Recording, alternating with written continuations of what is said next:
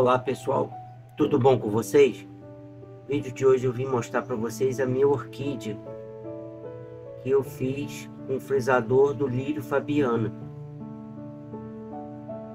Olha que orquídea linda que ficou. Fiz ela nesse cacho, mas aí você pode também estar tá montando ela de outra maneira. Mas ficou muito lindo, né? Olha só que orquídea linda. Você pode fazer ela também de outra cor. Muito fácil, rápido de fazer também. O frisador que eu usei foi o Lírio Fabiana. Frisador Lírio Fabiana. Olha que coisa mais linda que é esse frisador. Ele vai com duas peças Olha só que lindo que ficou. Tem no meu canal tem um vídeo recente que eu fiz o lírio fabiano. Ficou lindo. Eu estou usando aqui para essa orquídea a folha da orquídea catreia. Linda, né? Essa folha. Olha só que lindo que é esse frisado. Fica muito lindo. O miolinho da orquídea, eu vou estar tá usando esse molde de silicone, no caso é essa parte maior aqui. Fica lindo. Já adiantei o passo a passo. Olha só como que ele é bacana. Muito lindo, né? Fiz de biscuit. Olha só como que fica na orquídea.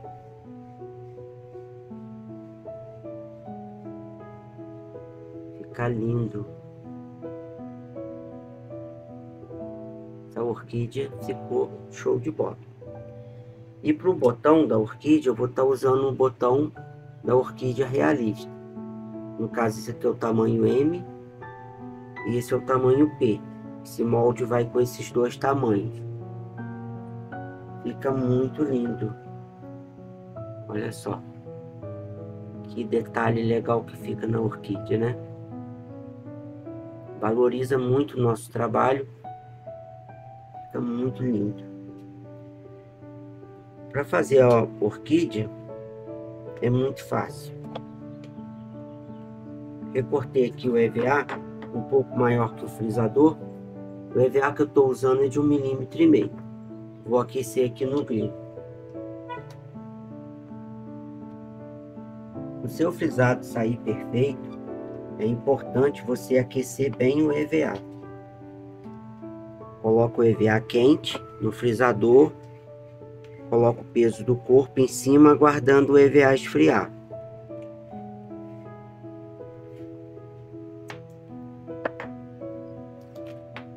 E olha só que coisa mais linda.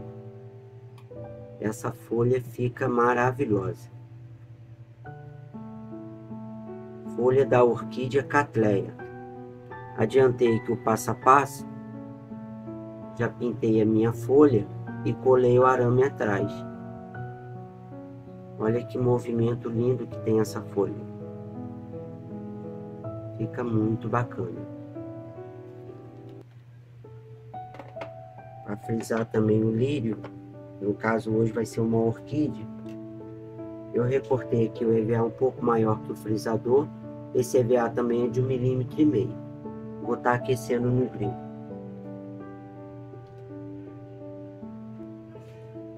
Você aquece bem o EVA, coloca aqui no frisador, coloca o peso do corpo em cima, aguardando o EVA esfriar.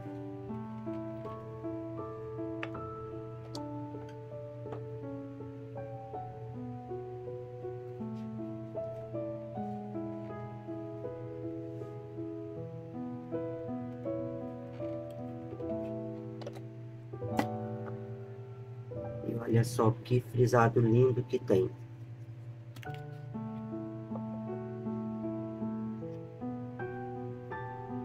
Fica perfeito. Essa, esse frisador, na hora que você frisa, ele deixa um detalhe na, na pétala. Fica muito lindo. Dá um movimento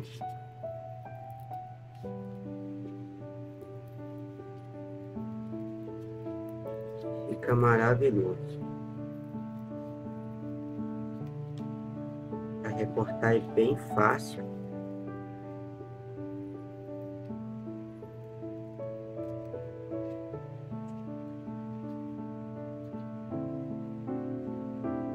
Olha só o movimento que fica.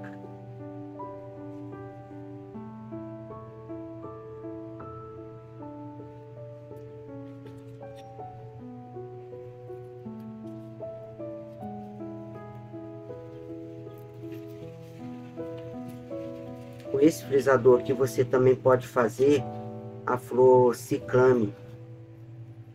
É uma flor linda e muito fácil de fazer.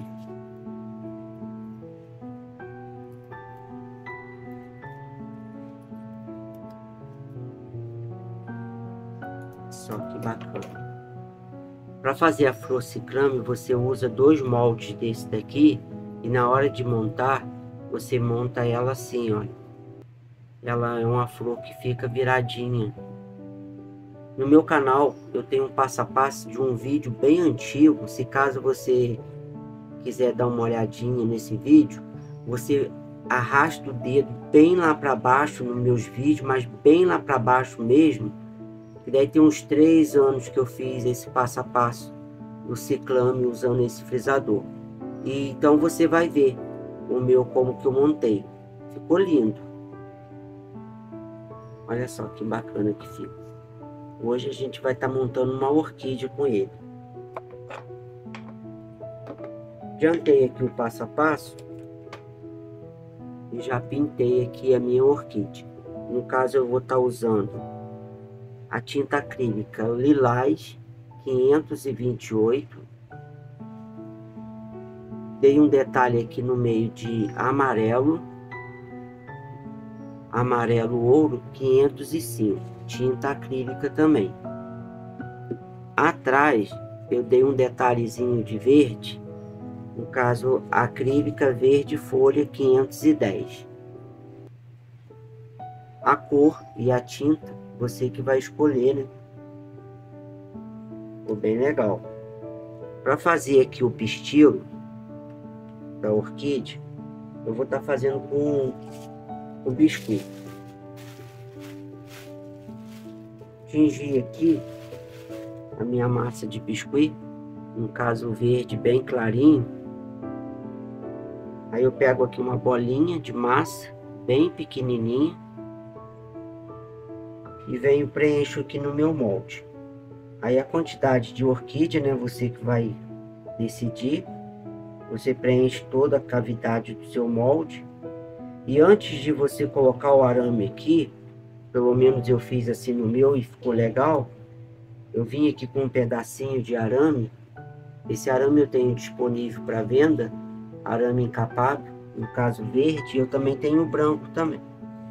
Aí eu peguei uma bolinha de massa de biscuit, fiz uma bolinha, agora estou fazendo uma cobrinha. Coloco numa superfície lisa venho com o meu arame encapado, não, não passei nem cola. O arame está só encapado. Venho aperto em cima da minha massa e pressiono em cima da mesa. Desse jeito eu vou estar tá engrossando aqui o arame para fazer o cabinho da orquídea. E olha só como que fica bonito esse acabamento desse arame aqui. Fica maravilhoso, né? O mesmo eu fiz para fazer o botão da orquídea. Fiz esse processo aqui de botar massa de biscuit no arame. Eu vou usar a cola instantânea, mas você pode também estar tá usando a cola branca. Passa um pouquinho de cola. Venho aqui no meu pistilo e coloco assim. Olha que lindo que ele ficou. Olha que pistilo bonito.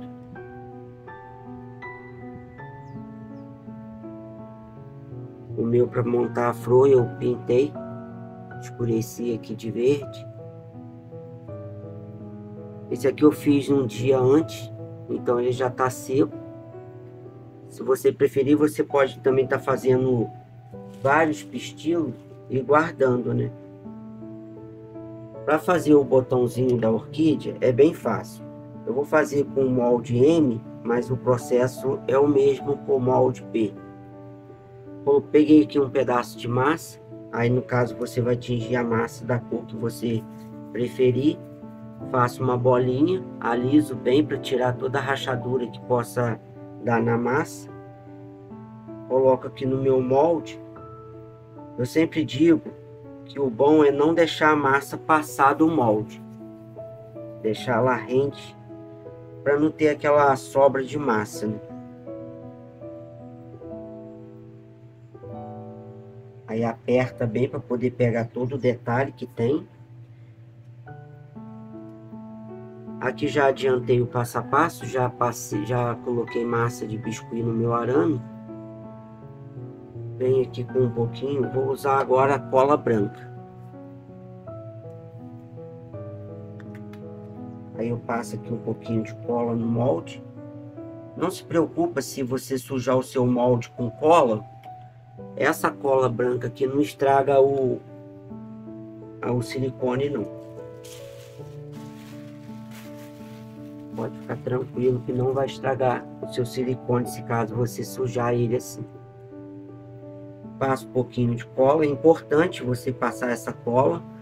Aí vem com aquele arame que eu encapei com massa de biscuit. Coloco aqui e venho com esse molde e encaixo direitinho no outro. Pressiono. Nessa hora você não aperta muito para não achatar o seu botão. Aperta um pouquinho assim, só para você garantir de que está colando um botão no outro. E olha só como que ficou legal saiu aqui um pouquinho. Vou fazer de novo, pessoal, porque não ficou legal. Devido eu ter passado bastante cola, escorregou aqui no meu molde. Rapidinho. Na hora que você for colocar cola, você coloca pouca cola.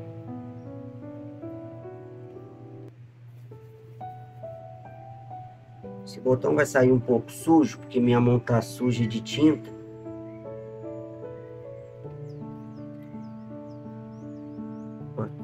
Pouquinha cola mesmo.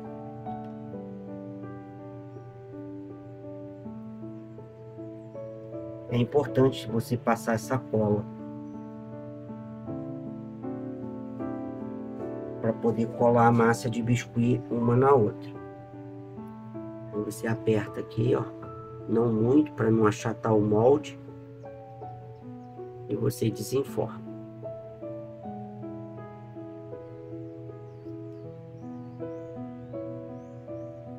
Que bacana que ficou esse. Essa junção de uma parte com a outra é muito, muito importante você fazer isso aqui. Você pega um pedacinho de arame e faz isso aqui, ó aonde que você vê que tem aquela emenda de um molde no outro, você dá o acabamento. Por quê? Se você não fizer isso, na hora que seu biscuit secar, possa ser que ele venha rachar onde que tem essa emenda aqui. E você alisando assim, ó, uma parte com a outra, dando um acabamento, vai ficar perfeito. Na hora que seca, ele não vai dar rachadura e o seu botão da orquídea vai ficar lindo, perfeito. Aí se você achar que ficou uma marcação suave, você vem com aquele araminho e faz isso aqui, ó. Valoriza um pouco mais, caso se você achar, né, que ficou fraquinho. Ficou sujo aqui o meu botão, desculpa, porque minha mão estava suja de tinta. Mas olha que botão de orquídea lindo que ficou e já tá com arame aqui com a massa de biscuit. Perfeito, né? Olha só na ponta do galho da orquídea, que lindo que ficou. Aí, assim, já acompanhando, porque eu tô mexendo com a massa de biscuit, eu fiz umas raízes também, para colocar no meu, meu arranjo. O tamanho da, da sua raiz, você que vai decidir. Esse aqui no caso é um arame, encapei o arame, mesma coisa que eu fiz. Aí você vem aqui, ó, faz aquela torcidinha assim, que tem a raiz da orquídea, de maneira bem bagunçada mesmo, não tem padrão certo. A raiz da orquídea ela é assim toda tortinha, parece até uma minhoca, né?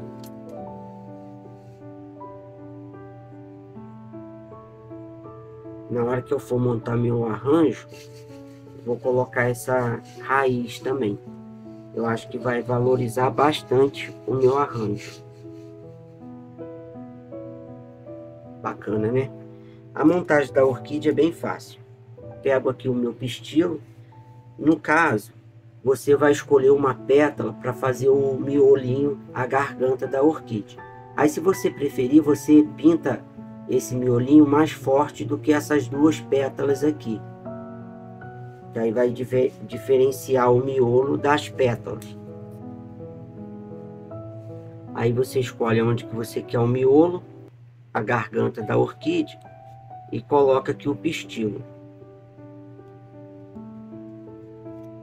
A orquídea é, é muito fácil de, de montar. Tô colando aqui o pistilo. Aí você vem aqui, olha, virar aqui para mim, pessoal, porque não tá colando essa cola aqui. Segurar um pouquinho aqui para poder colar. Aí passo cola aqui e levanto essas duas partes para poder fazer as pétalas da orquídea segurando aqui um pouquinho para poder colar.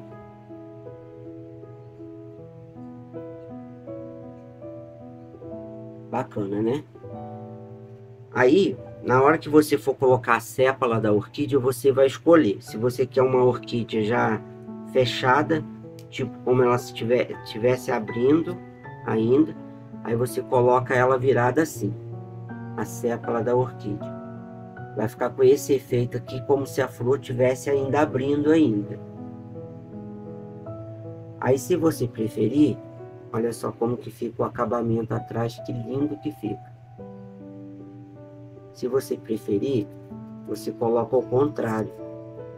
Aí já fica uma orquídea já aberta.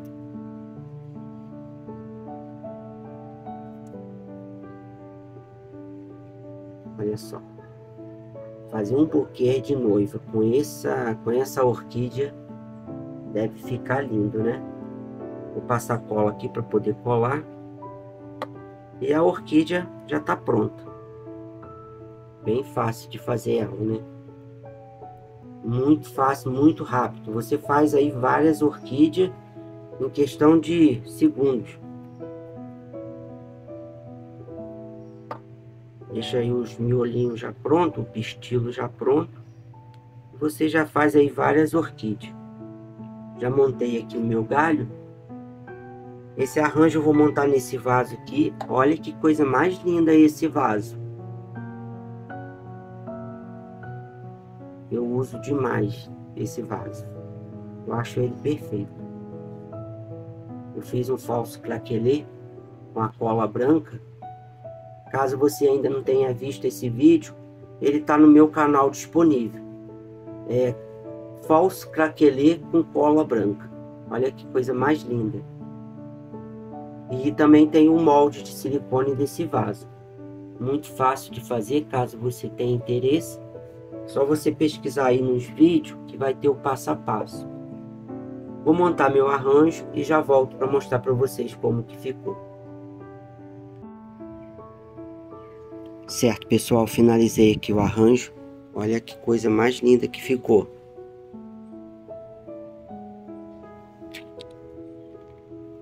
Olha o detalhe da raiz, como que valorizou o arranjo. Ficou legal, né? Fiz essa montagem desse vaso com orquídea como se fosse uma cascata. Mas aí a montagem da orquídea é você que vai de decidir a maneira que você vai querer. Mas eu achei o resultado muito bonito. Gostei.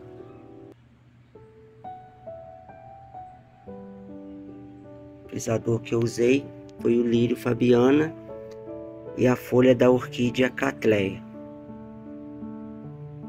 Espero também que vocês tenham gostado. Até o próximo passo a passo.